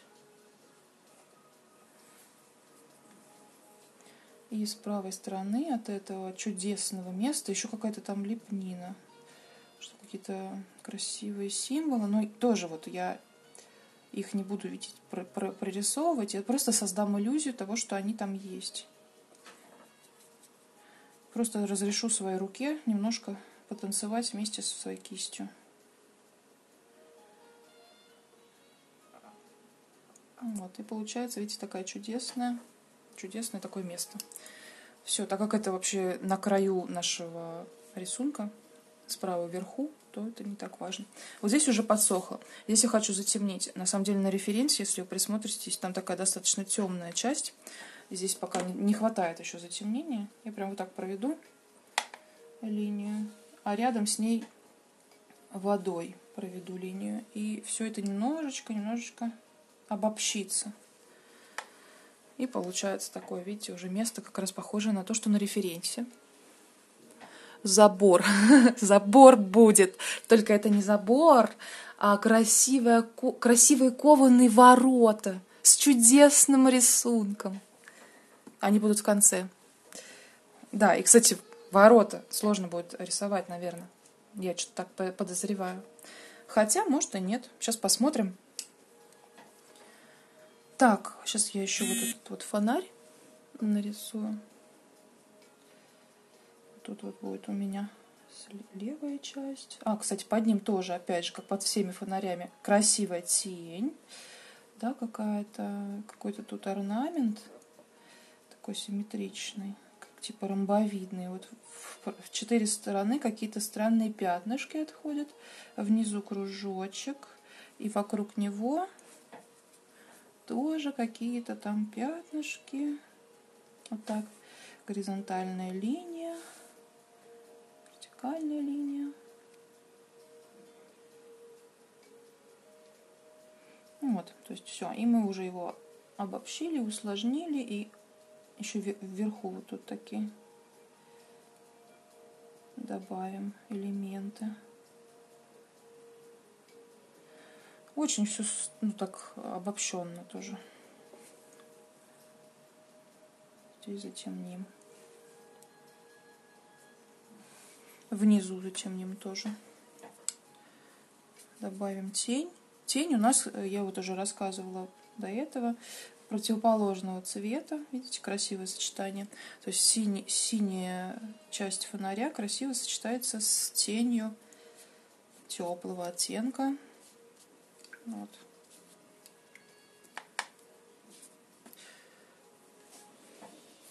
Да, кстати, здесь вот на вот этой части тоже можно даже кистью просто провести какие-то полупрозрачные, именно такие сиреневатые или где-то синеватые пятна, которые бы показали, что здесь есть такая фактура камня. То есть вот можно так изобразить фактуру камня немножко.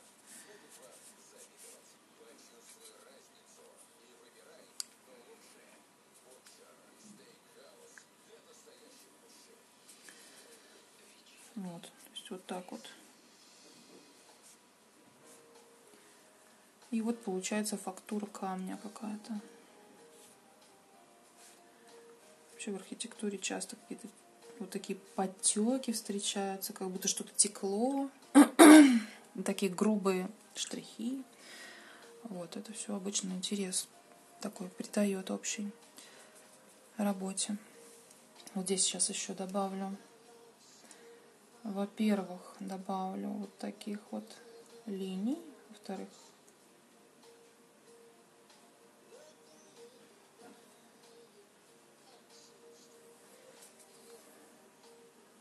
Так, вот эта линия, она в некоторых местах у меня будет становиться более теплой. Тоже так интересно, смотрите, можно делать а, как бы эффектом вливания просто в линию которая еще не высохла, а, доливаете, что ли, другой оттенок, и она становится более богатого цвета, живописно более выглядит и красиво. Так, здесь у нас такие вот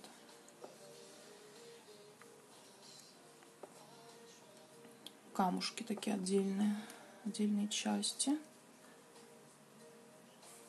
Ну вот, и внизу вот мы уже нанесли как бы все это должно быть не сильно ровно. То есть вот я специально намеренно так позволяю себе а, рисовать это, ну, кривоватость, вот эту всю. А, как сказал испанский художник Мигель Ленарес Риус, в Инстаграме можно посмотреть его работы. А, в нашем царстве современном прямых линий, кривая линия считается королевой. Вот, поэтому рисуем кривые линии и радуемся им. Так, как здесь расположено все. Ну, как-то вот так. Все, пока больше здесь не буду прорисовывать. Не хочу вот этот угол делать. Вот хочется акцент вот на, этом, на этой части сделать. Как-то вот здесь. И на воротах, соответственно. Ну все, мы уже подходим прям впритык э, к воротам, к самим. Еще я сейчас немножко добавлю здесь вот какого-то вот такого сложного орнамента, который вот здесь идет. То есть, видите, вообще совершенно легко и просто. За счет просто острого кончика, гуляющих движений, я добавляю какие-то точечки, линии, пятнышки, это все вместе, за счет того, что это все как бы соединено, да, таким вот темным тоном одинаковым, оттенком, это все превращается в такое вот подобие некого орнамента, да, на вот этой вот прекрасной арке здесь в этой стороне тоже, но только здесь я увидела более теплый оттенок и решила его использовать. Тоже вот э, совершенно простые вот такие линии. Ничего толком долго не прорисовываем. Все закончено. Усложнение удалось. Теперь я очень хочу нарисовать... А, спасибо, красота, да, мне тоже нравится. А, надеюсь, что вы, кстати, тоже рисуете. Я же не зря вам рассказываю. Я вам рассказываю, между прочим, для того, чтобы вы тоже рисовали.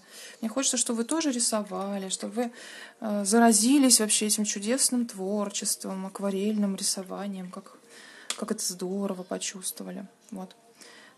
И вот переняли у меня какие-то идеи. Вот, сейчас я а, попробую нарисовать. А, не знаю, вот получится ли у меня по линейке. Я слышала, что так делают, но у меня что-то линейки вблизи нигде нет. Не знаю, да, наверное, не буду тогда по линейке. Или все-таки буду. Сейчас я посмотрю. Не, не буду по линейке. Рискну все-таки еще раз. А, горизонтальная линия точно легко нарисую. Вот я начинаю рисовать. Для тех, кто, кстати, спрашивал. Вот фонарь еще забыла один. Сейчас намечу его там. Вот, смотрите, вот здесь торчит фонарь еще один. Вот он. Все, фонарь есть. Видите? Объемный уже фонарь. Так, а, вот я вот здесь нарисую сейчас а, верхнюю часть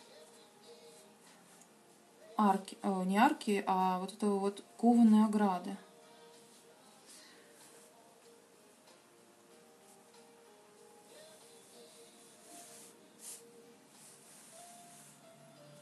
Вот горизонтальные линии хорошо идут, удобно руке, поэтому я, наверное, буду просто поворачивать руку, чтобы она горизонтально шла. И так все, все линии проведу, и получится ровно. Надеюсь. Может, не ровно. Бывает такое, что и криво у меня получается. То есть это вообще ну, такое дело, что не факт вообще.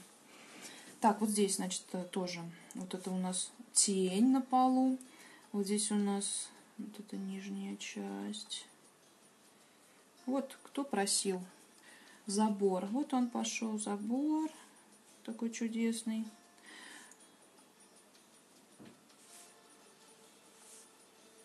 Ну, не совсем забор. Ну.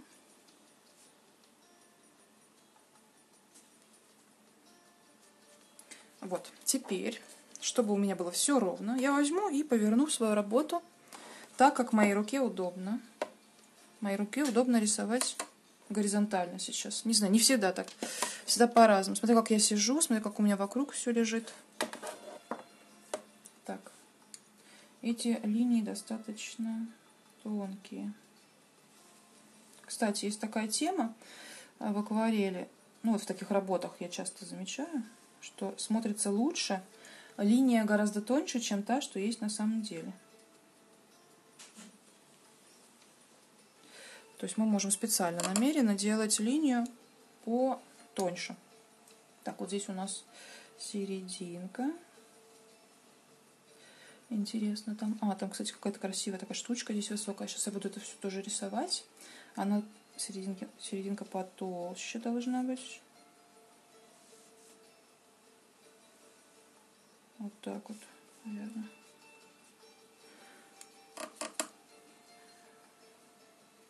Так, вот здесь тоже.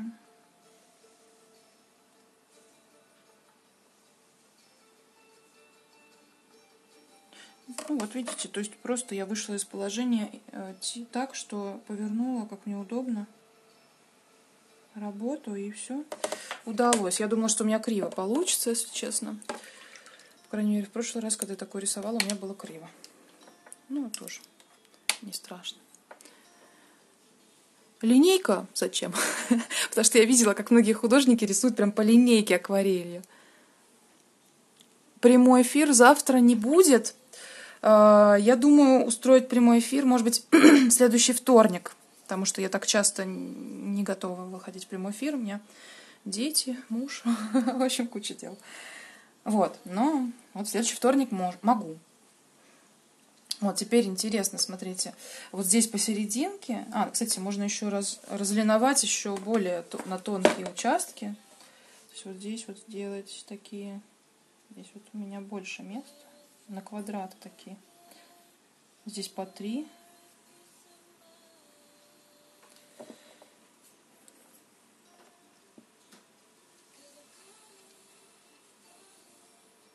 У себя в аккаунте, в аккаунте Чугунова Марина, я, наверное, проведу еще прямой эфир в следующий вторник. Смотрю там. Напишу, в общем, я. Смотрите, следите за новостями. Вот. Немножко кривовато, но сейчас я буду узоры рисовать, и я думаю, что должно получиться. Смотрите, сейчас я придумала такой способ рисования света, который просвечивается вот в этом месте. А, мы можем свет рисовать не совсем черным цветом. А вот, например, я взяла розовый хинокридон, который у, белой, э, у Невской палитры есть. Ну, в общем, стандартный цвет, в стандартных бывает э, акварелях он. А, и, во-первых, я, кстати, могу разлиновать. Поскольку раз, два, три, четыре, пять, шесть квадратиков. Так, делим на три. Вот так. Делим на три. И еще на три.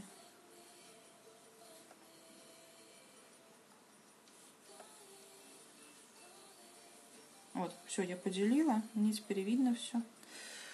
Могу рисовать. Вот, вот здесь в серединке, где красивые такие просветы, можно прям не совсем черным рисовать, а вот, например, каким-то таким.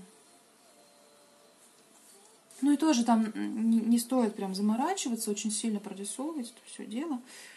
За счет тонкой кисточки изящества получается, сразу вам скажу.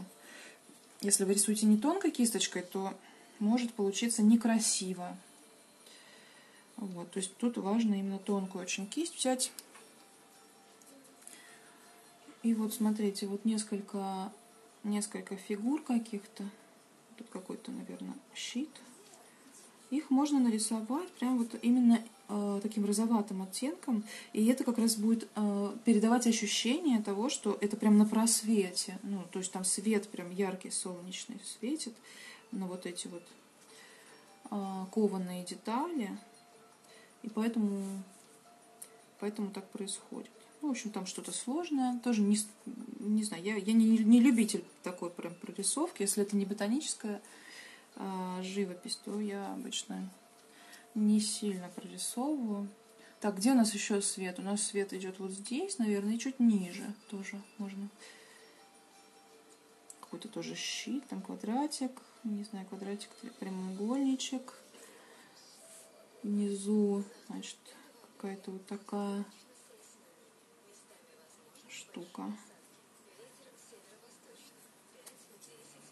Я прямо сейчас хочу прорисовать все э, розовые детали. То есть они вот идут, эти розовый цвет, он проходит прямо вот, от, вот так вот наискосок. Вот здесь еще какая-то такая розовая штука.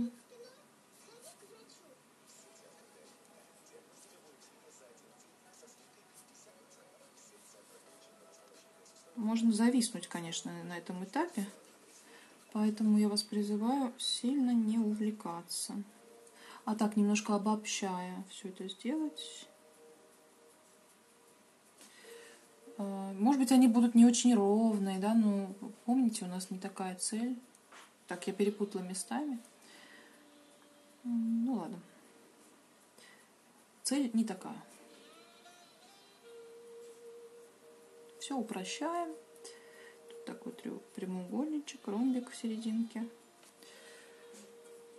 Так, вот здесь. Вот, ну, на самом деле я бы еще даже больше упростила все это дело. Я бы прям вот как-то так начала бы, знаете, так вот разрешать свои кисти еще больше гулять. Еще больше, чем до этого. То есть прям вот как-то вот таким вот образом.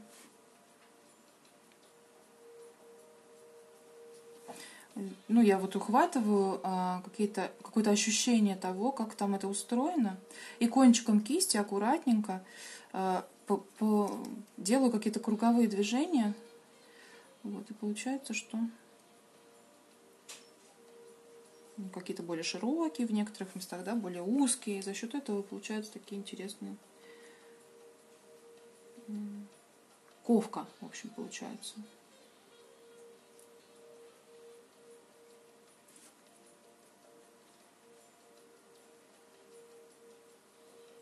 Художественная ковка.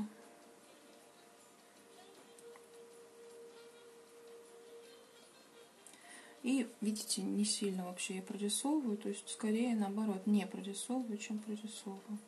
То есть очень, очень приблизительно. Вот здесь какие-то тоже то есть даже если вот на самом деле прорисовывать вот эти все детали очень подробно, то, возможно, будет эффект обратный. То есть вот я вам говорила, я э, раньше экспериментировала, мне там, ну, очень, ну, всегда рисую всю жизнь. И были моменты, когда я разочаровывалась собственными же экспериментами, ну, работами. То есть хотелось прям как лучше, а получилось не, получалось не очень. Вот, и тут, конечно, такой момент. Я для себя уже давно приняла решение, что я как-то не буду так сильно вдаваться в детали, особенно в таких а, вещах, что ли. Тут какие-то фигуры людей, какие-то там щиты, какие-то звезды, какие-то треугольники. В общем, какие-то интересные элементы можно, конечно, передать, но в целом, наоборот, надо стараться обобщать и не сильно заморачиваться.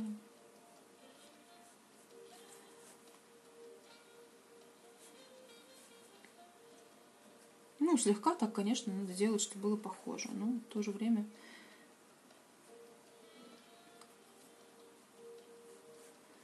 не сильно.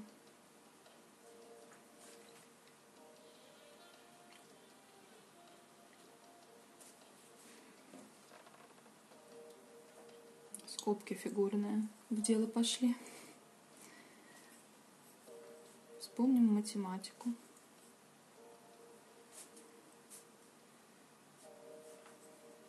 Так, здесь у нас что-то вот такое. Интересно, что это за символы? Мне кажется, это какие-то символы что-то означают.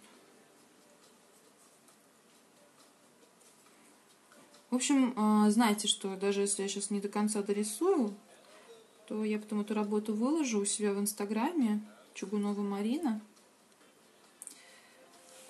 Сейчас у нас пять минут осталось до конца этого эфира.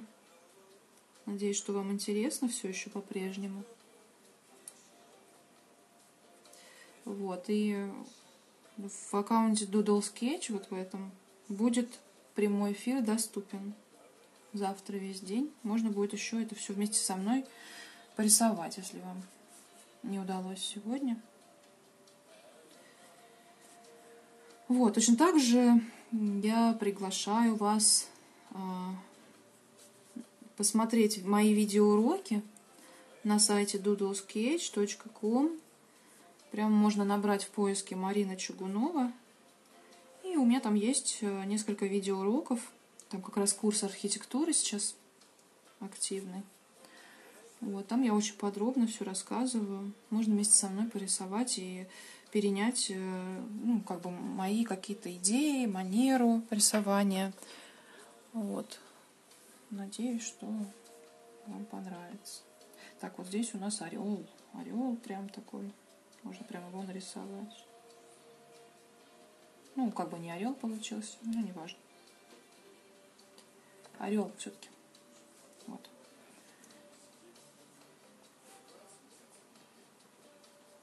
Вот, ну также я вас хочу еще раз пригласить со мной поехать на пленэр в Крым летом с 1 по 6 июля.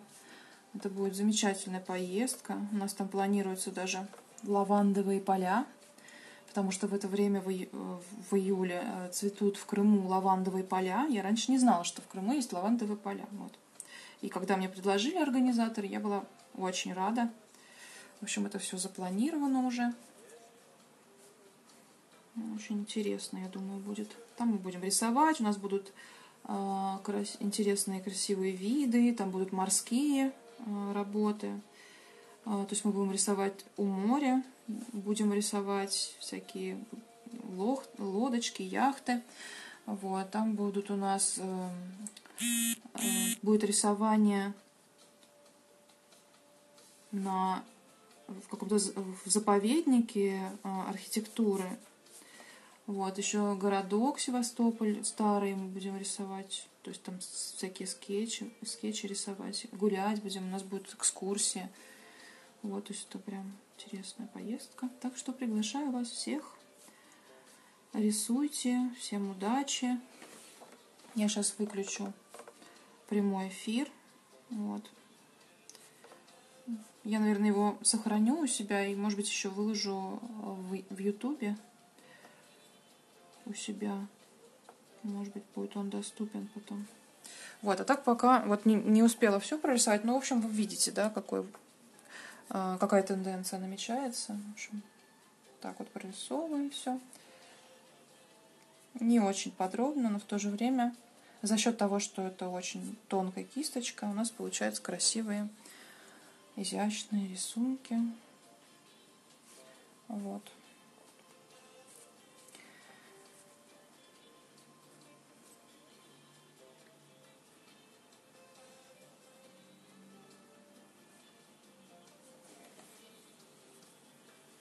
Так, постепенно сейчас немножко еще порисую и дорисую. Завтра увидите эту работу в моем инстаграме. Вот. А сейчас я вам всем желаю спокойной ночи и приятного настроения. А тем, кто смотрит меня завтра, то творческого вам вдохновения. Вот. Все, спасибо за то, что были со мной. Спасибо за то, что посмотрели. Пока не буду доделывать, торопиться. Доделаю вот эту часть спокойно потом и выложу. На ютубе, да, выложу хорошо. Сохраню эту работу. А, Все тогда. Всем пока. Всем спасибо. Была рада с вами порисовать. Спасибо за ваши сердечки. Очень приятно. Все, давайте счастливо.